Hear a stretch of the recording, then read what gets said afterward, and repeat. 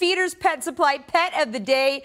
Jillian Verbrugge with the Lexington Humane Society joins us with Pru. And you can find Pru at the Lexington Humane Society's main adoption center on Old Frankfort Pike. Tell us a little bit about Pru. This is Pru. She is a three month old terrier mix.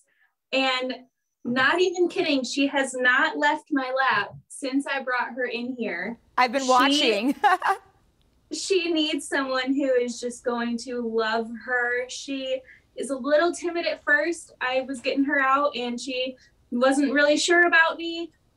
As soon as I got her, just like this. Awesome. Thank you so much and thanks for joining us for Best of the Bluegrass.